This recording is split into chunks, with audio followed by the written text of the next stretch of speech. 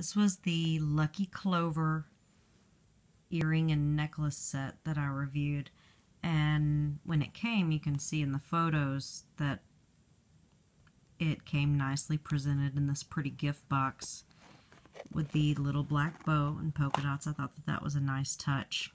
And inside, you can see where I've actually tested the products. And you've got the silver colored clover and silver is my thing so that worked out well. And then the nice rope that is far more durable than the thinner silver ropes that I've gotten on other necklaces. And I like the lobster claw like I mentioned in the review and the extra links so that you can tailor the length to fit you.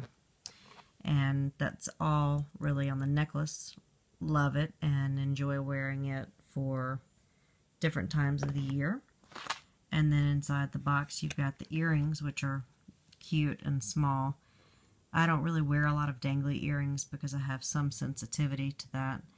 But as you can see, they're tiny and I love the backings because unlike some of the other backings that are just the metal, these stay in place and they are less irritating. So I don't see any flaws in the necklace or the earrings and I think it's kind of a neat gift for people if they are or aren't Irish and it's not a tacky set that makes me think hmm, I just have to wear this for St. Patrick's Day. So that's that.